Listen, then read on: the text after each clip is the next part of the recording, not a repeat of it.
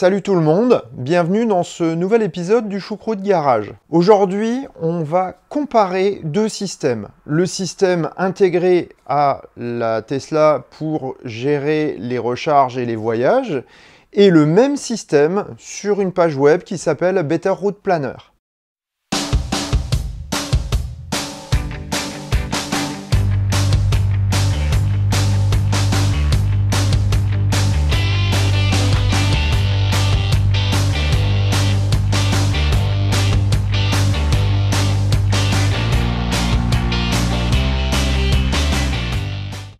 Mets un pouce bleu. Si ça te plaît vraiment, abonne-toi, clique sur la petite cloche. Et si ça te plaît vraiment, vraiment, vraiment, eh ben partage partout ce que tu peux. Merci.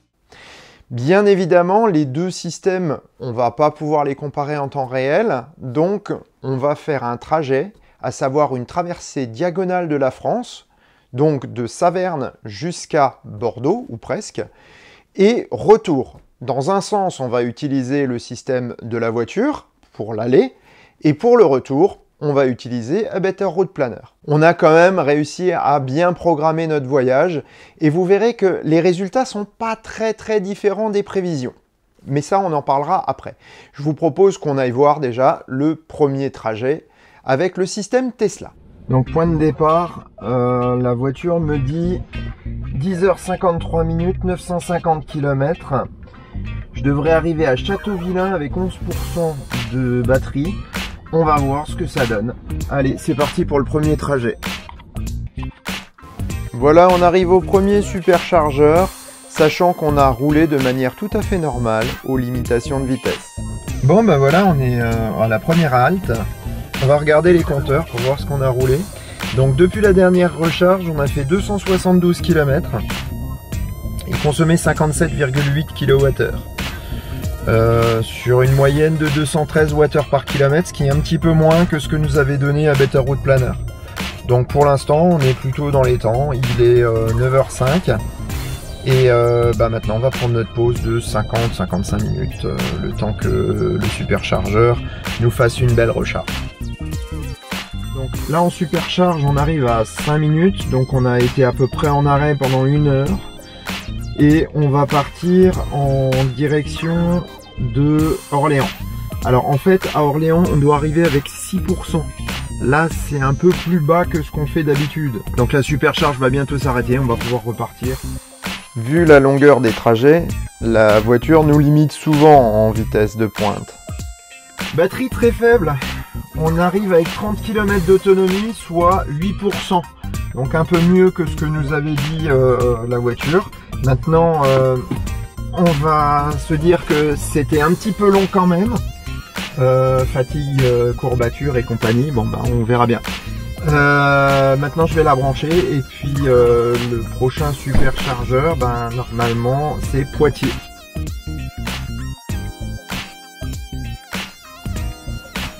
Bon, et eh ben, c'est reparti. On a mangé, on a laissé recharger un petit peu plus que de raison, donc on est à 96%, 369 km d'autonomie. Et donc on est à Orléans, prochaine étape c'est Poitiers à 205 km, 1h54 de route, ça c'est dans nos cordes habituelles.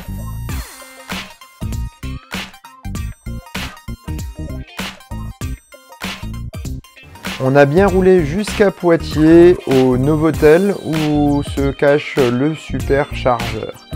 Il est juste euh, au fond du parking et nous avons une copine.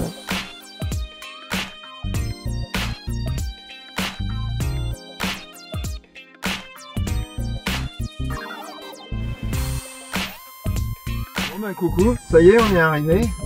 Non pas encore au bout, hein. faut pas... On, roule, on vole pas. Voilà, je prends la petite photo que je vais vous montrer du coup en écran. On arrive avec 34%, donc un petit peu plus que prévu puisqu'on avait prévu 25. Pourtant on n'a pas roulé doucement, très franchement, on a vraiment bien roulé. Il est 15h40 et on est à, Poitiers, au Futuroscope. Donc euh, voilà, on va mettre en route le superchargeur. Donc c'est ce que je vais faire tout de suite et puis on va voir à combien ça charge. On va s'arrêter une fois de plus que ce qui est prévu. On va modifier l'emploi du temps parce que je voudrais m'arrêter à Sainte pour ne pas terminer avec 5 ou 10% à destination. Donc on va faire une supercharge supplémentaire qui n'était pas prévue. On arrive donc à Sainte où la grosse surprise c'est finalement la forme et la qualité du superchargeur. On a mis un peu de temps à oser rentrer par ce magnifique portail et rentrer dans ce parc absolument fabuleux et nous avons découvert un superchargeur au fin fond d'un parc. Le service technique du superchargeur était là également et euh, nous avons été très bien accueillis. Je vous mets d'ailleurs en commentaire l'adresse web de cet établissement parce qu'il vaut vraiment le coup, il est extrêmement sympathique, extrêmement classe. Et franchement, si vous passez par le superchargeur, n'oubliez surtout pas de rentrer dans cet établissement qui est juste magnifique. Donc c'est le superchargeur de Sainte.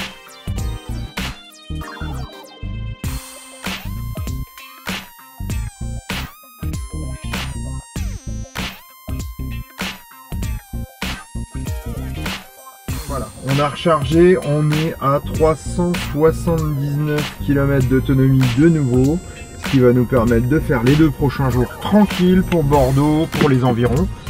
Et donc maintenant on va aller à notre hébergement et on devrait arriver d'ici 40 minutes. Donc voilà, on, est tout à fait dans les temps qu'on avait prévus. Vous êtes là Non mais on est arrivé. Voilà, 19h15 avec euh, on va dire une heure d'arrêt supplémentaire qui n'était pas prévu pour qu'on puisse arriver avec euh, pratiquement 80% euh, ben, de batterie. voilà, donc petit voyage plutôt sympa, on arrive bien reposé, on a passé un bon moment. Et franchement je préfère le faire comme ça que de le faire à la va-vite avec une voiture thermique et faire le trajet en une fois. Par contre, certaines portions ont été un peu longuettes, donc euh, au retour, on va voir comment on va le gérer d'une manière différente avec des recharges à 80% et un peu plus d'arrêt, plus fréquent mais plus court. On verra bien ce que ça donne en termes de durée de retour. Le premier voyage s'est plutôt bien passé. Il était prévu en 10h53 par la voiture. On l'a fait en 12h44. Ok, ça fait presque deux heures en plus. Hein. On est bien d'accord. Il y a entre 45 minutes et une heure qui était finalement prévisible parce qu'on ne voulait pas arriver avec une autonomie trop faible. On a bien fait d'ailleurs, vous allez voir que sur le week-end, on a quand même bourlingué et puis euh, ben, quelque part, euh, je me suis un petit peu stressé. Et du coup, on est allé charger sur une autre borne qu'un superchargeur. Je vous ai mis quelques images du week-end parce que finalement, il n'y a pas que le voyage dans la vie, il y a aussi le petit week-end qui était sympa. Un peu dans la même veine que l'étape de Sainte, la Sauvageonne est un gîte et une chambre d'hôte qui est vraiment très très sympathique. L'accueil de nos hôtes a été fabuleux. On a passé un très beau moment ici, au calme. Et franchement, si vous avez l'occasion de venir, n'hésitez pas. Je vous mets le lien vers le site internet encore une fois en commentaire parce que ça vaut vraiment le coup de venir se ressourcer et passer un petit moment sympa au sein d'une campagne qui est vraiment très calme.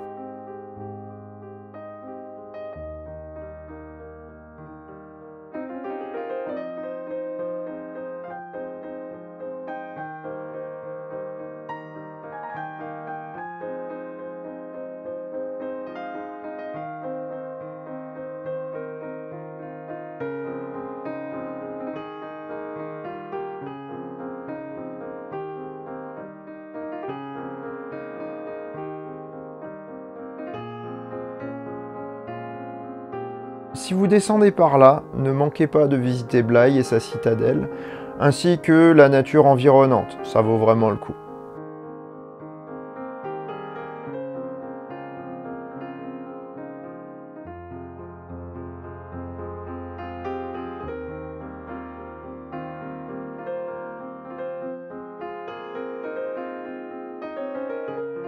Bon bah voilà, alors on est à Blaye et à force d'avoir fait des promenades, des balades, etc. Euh, eh ben on a un peu vidé la batterie, donc on va brancher Maggie sur une borne. Voilà. Donc, une borne type 2 de chez Mobi enfin voilà. Donc, euh, on va voir comment ça, comment on va pouvoir faire. Alors, normalement, c'est compatible charge map. Alors, on découvre. Crac. Voilà. Donc, je commence par ça, c'est branché. Branchez-vous et fermez la trappe. Ah, voilà.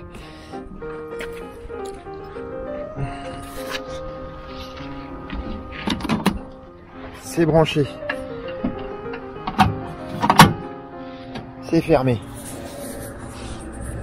Et maintenant, qu'est-ce que ça nous fait? Charge en cours. Regardez-moi ça. Et c'est juste merveilleux. Donc charge ma passe, ça, ça, ça fonctionne. Hein. Donc voilà. Maggie est en charge. On va juste voir combien ça sort. Voilà. Et eh, mine de rien, c'est pas mal du tout. Hein. On est sur du 16 ampères triphasé. Ça sort à 53 km d'autonomie par heure. Maintenant, on va aller manger. Ciao Nous avons eu également l'occasion de voir El Galion et de le visiter. C'est un galion espagnol reproduit selon les plans de l'époque. N'hésitez pas à aller le voir s'il est à proximité.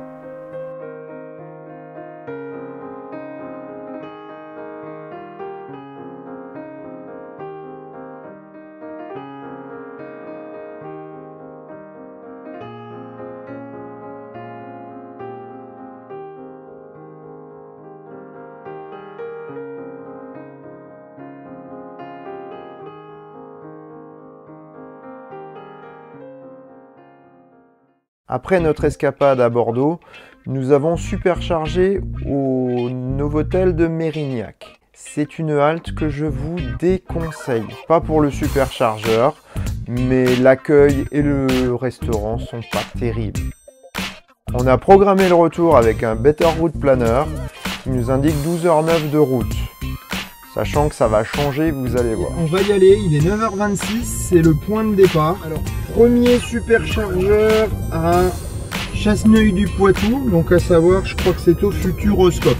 Donc, on y va et puis on va voir ce que donne euh, finalement le parcours complet sur la totalité du retour. On va passer d'ailleurs par Paris parce que la Better Road Planner m'a donné une euh, meilleure trajet par Paris. Bon, ben voilà, il est 11h14, on est au premier superchargeur. Alors, je vais vous mettre la photo. On est à 10%. 10% de batterie au lieu de 5. Et ça, franchement, c'est génial. Donc euh, voilà, on a roulé euh, tranquillement, on est un peu en avance sur les prévisions, ben ça nous évitera peut-être un retard sur la fin. Allez, on va recharger, puis on se retrouve euh, après la recharge donc la recharge est quasiment finie, on est à 2 minutes de la fin. Et donc euh, maintenant je vais chercher le superchargeur d'Orléans comme me l'a demandé la Better Route Planner. Donc là je viens de rentrer la destination et euh, on va pouvoir partir, il me calcule le trajet. Alors pour l'instant il me dit arriver à 6% donc euh, je vais voir ce qu'il me dit au niveau de la supercharge. Temps restant 25 minutes, donc il nous laisse partir. Bah c'est ce qu'on va faire, on va y aller pour le deuxième parcours de la journée. Voilà, on est arrivé, il est 13h48 et on est à Orléans. Là, on se pose en fait la question de savoir si on prend notre itinéraire tel que me l'a donné euh, Better Road Planner par Paris, ou si on décide de descendre, euh, bah, de passer sous Paris, comme on avait prévu euh, à l'aller. C'est un peu Maggie qui va nous dire euh, bah, ce qu'elle pense, parce que là je viens de lui mettre la destination. Et après, on va regarder sur un Better Road Planner en fonction de la circulation du moment à Paris. En fait, je suis pas très fan de la circulation parisienne. J'ai peur d'avoir beaucoup trop de monde autour de moi et que ça m'énerve. Donc voilà, on va voir. Euh, là, elle est en train de calculer. Puis, euh, ben, verdict dans quelques minutes euh, au moment du départ pour vous dire ce qu'on prend comme chemin. Allez, à tout à l'heure. Bon ben voilà, finalement le verdict à 5 minutes de la fin de la charge. Et eh ben on a décidé de passer par le même trajet qu'à l'aller. Puisque Paris commence lentement à s'engorger et euh, ben, on a pu s'arrêter au superchargeur à Orléans avec euh, bah, deux autres équipages, donc un équipage alsacien et un équipage luxembourgeois, qui euh, nous ont déconseillé de passer par Paris euh, en cette fin de dimanche. Donc voilà, on va reprendre le même chemin. Donc on a encore 5 minutes de supercharge et on va pouvoir repartir vers donc le prochain superchargeur qui sera le superchargeur de 3. Voilà, voilà, à tout à l'heure. Bon ben voilà, on y est, superchargeur à 3. Petit changement de programme, j'ai décidé de ne pas suivre le programme de Better Route Planner. Parce que à Val-de-Meuse, visiblement, alors déjà il n'y a rien. C'est un peu comme ici, à 3, où euh, en dehors de l'ouverture des magasins, ben, il se passe rien, il n'y a pas de toilette, il n'y a rien. Mais à Val-de-Meuse, c'est encore pire parce que euh, il devait y avoir un hôtel. Pour l'instant, apparemment, le projet est abandonné. Et euh, il y a une petite cahute qui a été vandalisée plusieurs fois par les malfrats locaux. Et donc du coup, toilette, machin, enfin c'est un peu compliqué. Donc j'ai décidé de charger un peu plus longtemps et de garder l'itinéraire, mais de m'arrêter à Nancy cette fois-ci, où il y a un hôtel, où comme par hasard on y arrive vers 19h, 19h30. Le moment peut-être de dîner tranquillement dans ce petit hôtel avant de finir notre trajet. Donc euh, voilà, j'ai rechargé suffisamment. Il me reste euh, donc 284 euh, km d'autonomie, je vais vous mettre les photos. Et on est entre 5 et 6% de prévision à l'arrivée. Donc on va voir ce que ça donne avec notre petit programme à nous. Allez, à tout à l'heure à Nancy. Bon, ça y est, on y est. Alors, euh, par contre, la photo, je vais vous la montrer. On va la mettre à l'écran. Voilà. Alors, une autonomie comme ça, j'avoue que celle-là, je l'ai jamais faite. Hein. Donc, euh, on termine euh, joyeusement à 19h25. Alors, on a roulé un petit peu plus mollo que prévu. Enfin, que, que, voulu, que j'aurais bien aimé rouler plus vite. Mais la voiture, elle me disait, fais gaffe quand même. Hein à un certain moment, on arrivait avec moins de 10 km d'autonomie. Donc euh, là, on est arrivé, on a 25 d'un côté et 20 prévu. 5%, arrivé 5%. Maintenant, on va manger, mais d'abord, on va donner à manger à Maggie. Allez, à tout à l'heure.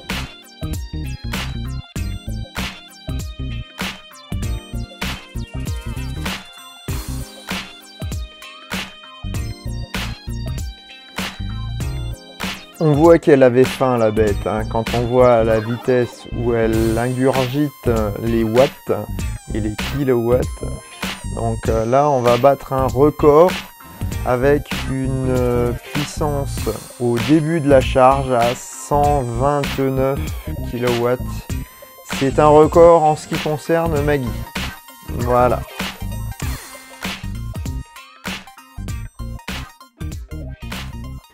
Vous remarquerez que Maggie aura bien mérité son nettoyage au retour. Donc on a eu le temps de manger et Maggie est à 372 km d'autonomie. Donc pour les 115 km qui vont rester, je pense que ça va aller bien. Alors en fait, l'arrêt était un peu plus long parce qu'on a voulu manger et puis surtout bah, parce que finalement superchargeur quand c'est gratuit, ça permet d'éviter de payer l'électricité à la maison, donc autant en profiter. Voilà, voilà. Bon, ben maintenant, euh, c'est dernière, euh, dernière ligne droite, on se retrouve dans 1h15 environ pour l'arrivée de ce périple de quelques jours. Voilà, ça y est, on est à la maison. Il est 21h55, je fais la photo que je vais vous mettre là. Voilà, donc euh, bah, finalement on est bien arrivé. Je ferai le dépouillement demain et le verdict demain pour savoir si c'est plutôt le système Tesla ou plutôt le système Better Road Planner qui marche le mieux. Tout s'est très bien passé et en fait, parce qu'on a adapté notre voyage aux conditions du moment. Et ça, c'est important.